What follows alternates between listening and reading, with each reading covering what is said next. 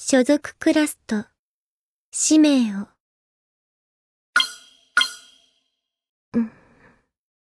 お前は、お出ましね。森のリンゼ。あ、おい、夏葉あなたを、待っていたの、いや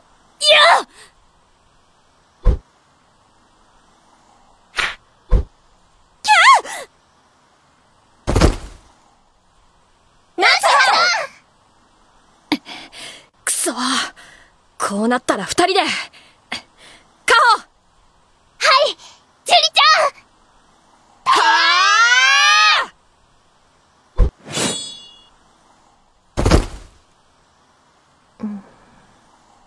ジュリちゃんカホみんな大丈夫くそ二人とも、よかった。でも、このままじゃ、あなた、眉一つ、動かさないのね。それなら、夏葉ちゃん、ダメだよ待ってみんなも、一旦ストップ今のままじゃ、叶いっこないチョコ？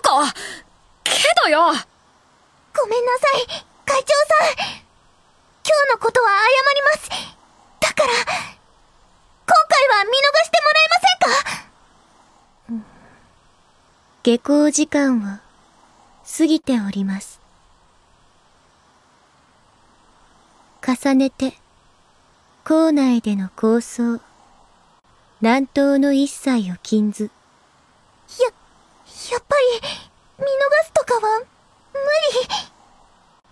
校則を破った者には罰をっていう。いいわ。受けてた当じゃない。ちょ、煽っちゃダメだってば、夏葉ちゃん重ねて、いえ、規律を守り、心身の鍛錬に励んでください。え？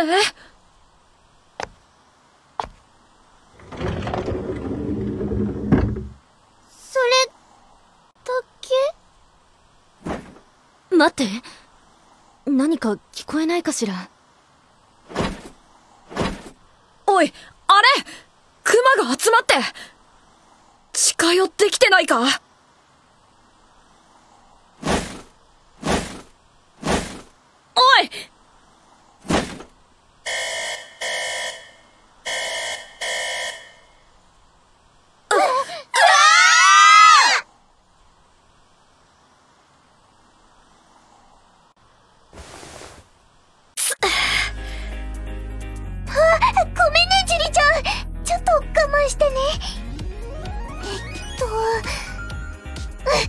これでよし。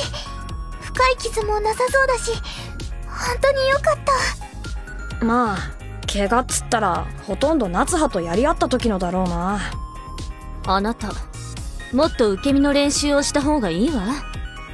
んだと？ま、まあまあ。それにしても、集まって来られちゃうと、クマ強かったね。はい。着替えさせられちゃいました。この刺繍がかっこいいのに。学園じゃ着ちゃいけないんですね。カホ。このままじゃ、終われないわ。夏葉ちゃん。当然、あなたたちもこんなところで諦めたりしないわよね。はい。もちろんです。ああ、当然だろ。何か打開策はないかしら。まずは、あのクマだけでも追い払えたら、楽になるんだけど。打開策、打開策。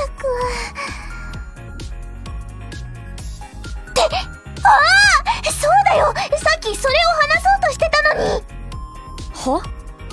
あのね、あのクマ、鼻が弱点みたいなの。私見たんだ。この間、うっかり鼻をぶつけたクマが、その後動けなくなってるとこ。それ、本当か？チョコ先輩すごいですそれが本当なら、クマの動きを封じるのは、案外楽かもしれないわね。あとはこっちの有利な状況下で森のリンゼに挑めれば会長さんを私たちのフィールドに引っ張り出すってことだよねそれじゃあ果たし状を出すとか？果たし状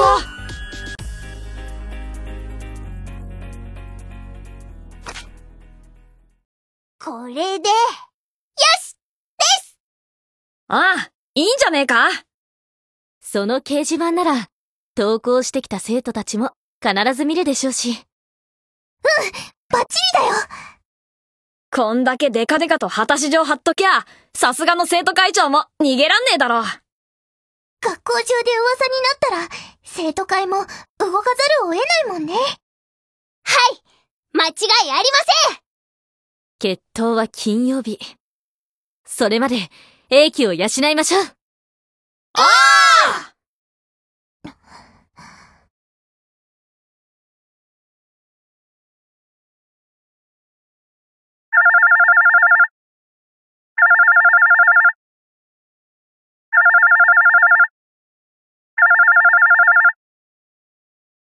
しもーし。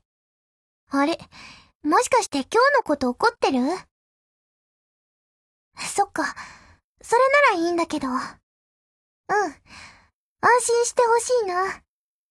あの三人のことなら大丈夫だから。任せといてよ。悪いようにはしないからさ。